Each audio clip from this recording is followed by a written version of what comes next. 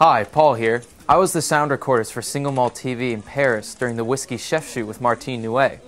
The following segment is one of Single Malt TV's most popular, with Martine taking us on a tour of one of the best known markets in Paris, as she selects ingredients to prepare a full meal with each course paired with whiskey.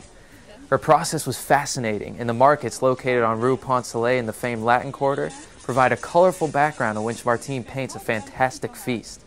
I hope you enjoy this Whiskey Chef segment as much as I enjoyed listening to Martine's colorful descriptions.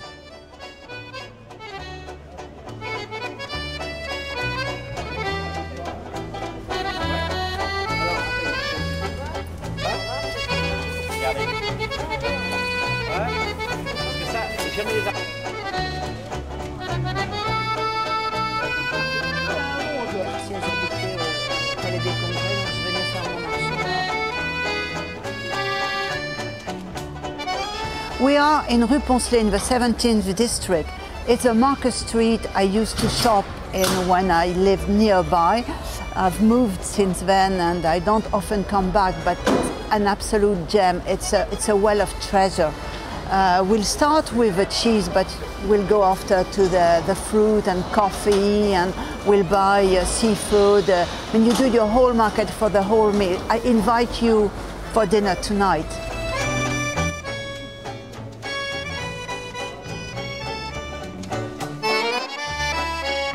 There is a gem in this uh, street, which is Alléosse, the cheese shop.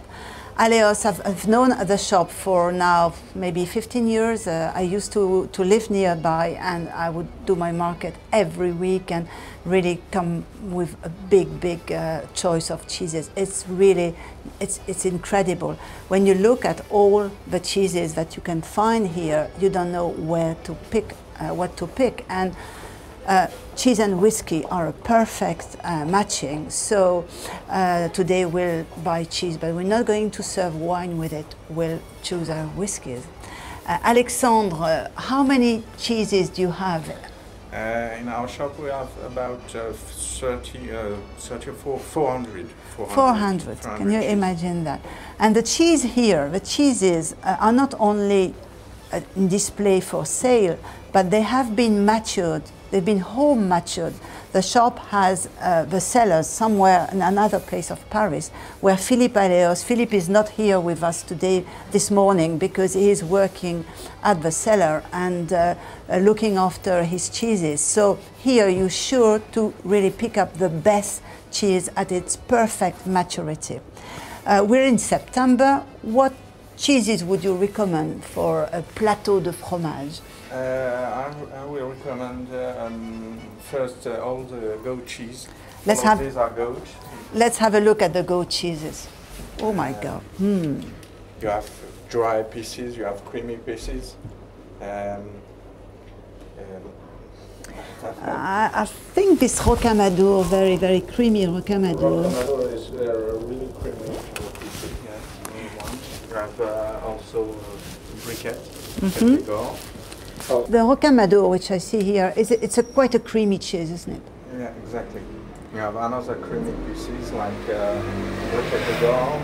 Uh, this one is uh, also creamy, but it's not goat. It's uh, sheep cheese. Uh, you, yes. You, you. yeah, Mhm, you, you, Yes. you- And so I think, well, I have um, a, a bourbon I really like, which is Basil Hayden, and it's, it has a great proportion of rye in it.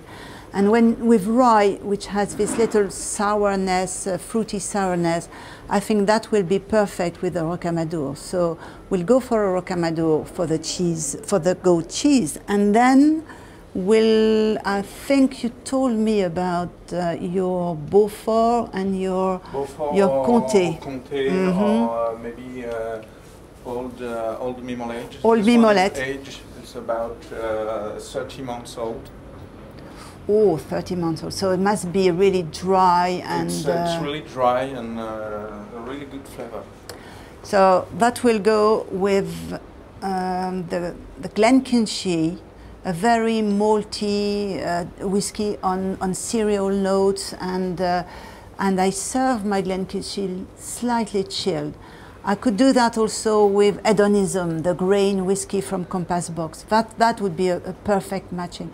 They are mild, sweet whiskey, and you would think that the Mimolette would be too strong, but no, the Mimolette will accept this fruitiness and the, the two is it's quite an opposition really it's not a comple- not complementary but uh, it's quite characterful. So we'll go for that. And the, the Comté at the moment is quite young you said um, yeah it's quite young but uh, it's, uh, it's fruity. Uh, it, it will be fruity. too. And the Comté here is only 18 months old but in a few weeks, um, uh, they will bring the, the old one, 36 months old, which has its little grain of salt in it. There's no salt on whiskey in whiskey, we said, but there's salt in cheese, and that. Then, with a, a very matured Comté, you can go to um, quite full-bodied whiskey and even try a peated whiskey. Try a Benriach from Speyside, maybe not an Islay whiskey, but uh, Benriach, the, the 10 year old Benriach Curiositas, that will be quite a punchy uh, matching. So we'll go for that. And now we go to the blue cheeses, one of my favorite. And, and uh, don't think that there's only one or two kind of cheeses, of blue cheeses in France. Look at that. There's not, not only French cheeses, of course, but uh, the Gorgonzola, the Italian one. Then we go also to the Stilton. And this Bleu de Termignon, very, very much uh, matured. Uh, is it a cow, cow's milk? Uh? yeah, all of the blue cheese are, are, made with cow milk. All of them? Uh, all, of, all of that. Blue, the blue, uh, the Termignon is uh, one of the strongest blue we have. It's natural one.